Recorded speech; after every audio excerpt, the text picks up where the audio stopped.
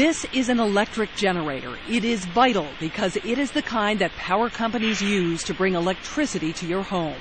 It shudders and shakes, then goes up in smoke, destroyed just as effectively as if with a smuggled bomb. But all it took was a computer, some patient work, and the click of a mouse.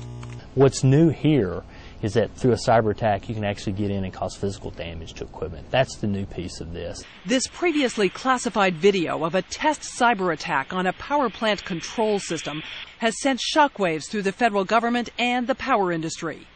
Could a large scale simultaneous cyber attack knock out power to a huge part of the country for months? The nightmare scenario. At first, it would be inconvenient. Lights out, businesses shut, no teller machines, no gas pumps. By day three, stores would be out of food, emergency generators out of gas. After 10 days with no hope of power being restored, people want to evacuate. But where to? With what fuel? And with no emergency services, medicine, heating, or air conditioning, lives could be lost. Listen to what economist Scott Borg projects if such a nightmare scenario played out with the loss of power to a third of the country for three months. It's equivalent to 40 to 50 large hurricanes striking all at once. It's greater economic damage than any modern economy has ever suffered. Even the Great Depression? It's greater than the Great Depression. The potential damage is so severe, the Department of Homeland Security asked CNN not to divulge certain technical details about the government experiment, dubbed Aurora. The test was conducted last March at the Idaho National Lab.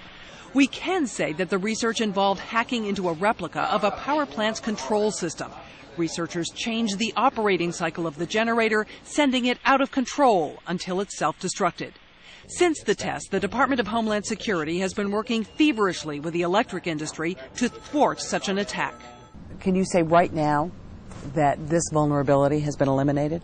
No, I can't say it's been eliminated, but I can say that a lot of risk has been taken off the table.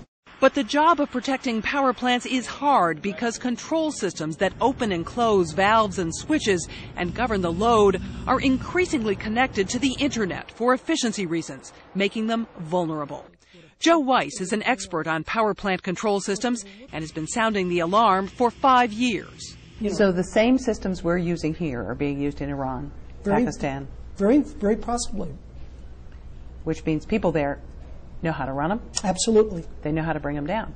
Absolutely. They have the same training, the same passwords. And security experts say it would be virtually impossible to figure out who attacked. In 2002, the current director of national intelligence, Mike McConnell, and former CIA director James Woolsey were among more than 50 computer and security experts who begged President Bush for a massive cyber defense program to avoid a national disaster. Five years later, there is no such program. We need to get on this and get on it quickly. Keeping them honest, we looked at how much is being spent on cybersecurity. Across the federal government, it is projected there will be a slight increase next year, but Homeland Security's cybersecurity budget is projected to decrease, with only $12 million budgeted for protecting control systems. DHS points out that its own research uncovered the power plant vulnerability, and action it is taking with industry is reducing the risk. But the question remains can the U.S. close the cybersecurity holes before the hackers find them?